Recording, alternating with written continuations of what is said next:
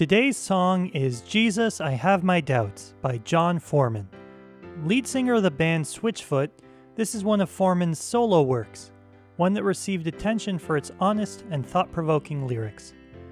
Foreman talks about how the song is his way of coming to God with his questions and doubts, believing that God is bigger than all of them and is able to answer and to assure him of his presence during his struggle. Since the song is a personal outcry and essentially a conversation between Foreman and Christ, there are no actual Bible references, but we certainly see Foreman's experience reflected in Scripture. In order to explore the nuances of the song, I broke down the doubts mentioned in the titular line into three different categories that seem to be expressed here. These three types of doubt revolve around sin, pain, and God. So the first type of doubt is related to sin. The song says, Jesus, I'm sorry about last night. Jesus, we both know I tried. The lines appear to imply a recent struggle with temptation the previous night, ultimately ending in failure. He's now apologizing and expressing how he did his best to resist. This is something we all face as Christians. David, the man chosen to be king by God, a man after God's own heart, fell into covetousness and lust in a moment of weakness. Even the Apostle Paul, minister of the gospel, talked about his struggle with sin.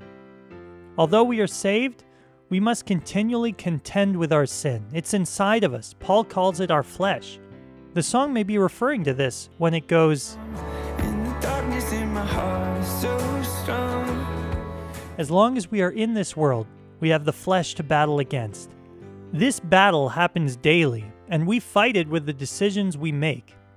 We can choose to obey or to disobey.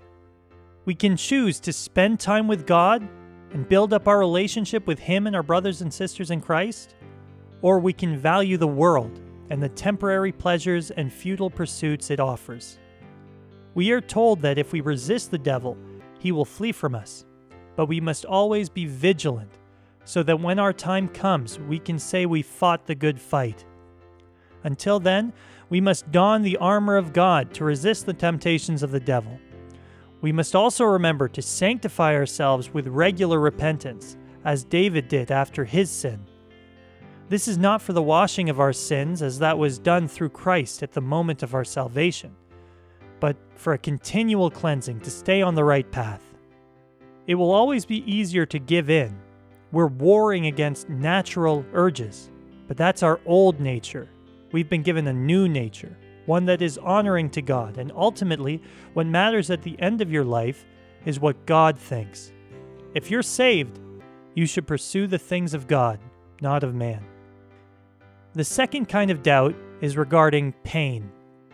The song says, Jesus, has the world gone mad? Jesus, feels like the world's in pieces. One of the most commonly posed questions to Christians is how can God exist with such pain and suffering in the world? And if he does exist, how can you call him good or serve him or love him, knowing what he allows to take place here? The amount of pain in the world cannot be understated. Each person is touched by it. The song even mentions, and I'm sure we can all empathize with this line. The truth is, the world is broken. We are not living in the world God intended us to live in. When He made Adam and Eve, He gave them a garden full of peace peace with nature, peace with each other, and peace with God. But when they sinned, that peace was shattered. We are living in the aftermath of that, a world full of disaster and parasites, a human race with mutations and viruses, and a broken people with sinful natures and proclivities for unimaginable evil. This is the world that Jesus came to save. The Bible says that just as how Adam's sin brought death to all men, so would Christ's obedience bring us life. God didn't leave us in our state, sinners on the road to hell. He saw us, loved us, and sent His Son to die for us. This is why we say that God is good. This is why we say that God is love. In the cross of Christ, we see the ultimate sacrifice of the innocent dying for the guilty. It's only when we can admit our guilt that we are ready to be saved. He didn't come to save good people, but to save sinners. This is the cure for pain. Not physical pain, it's deeper than that. Our life here on earth is like a vapor, it's here and then it's gone. Eternity is forever, and that's the life we should be looking forward to. Christ died to provide us everlasting life, and until then, those who have put their faith in him and turned from their sins will inhabit a broken world as strangers in this land, looking forward to our real home. And just like we fight against our flesh until Christ returns, the world at large will remain in chaos until that time. Pain will persist until pain is no more. The final doubt that I think the song is referring to is about God Himself. The chorus says, This is similar to a story in the Bible where a man asks Jesus to heal his son. Christ tells him that it's possible if he believes. The man says, with tears, Lord, I believe. Help my unbelief. We can experience this as Christians, where we lack the faith to trust that God knows what's best and is in control. We can ask questions like the ones in the bridge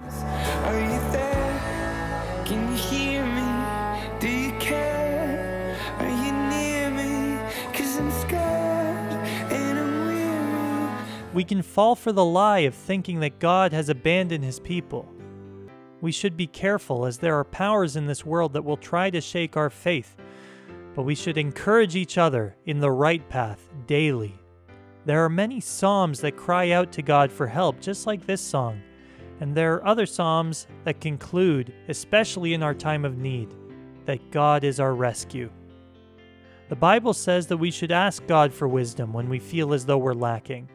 Allow Him to fill our hearts and minds so we are completely occupied with Him so we don't fall prey to the doubts that the world, our flesh, and the devil seek to build in our minds to destroy our foundation. Don't be cast about by fickle feelings.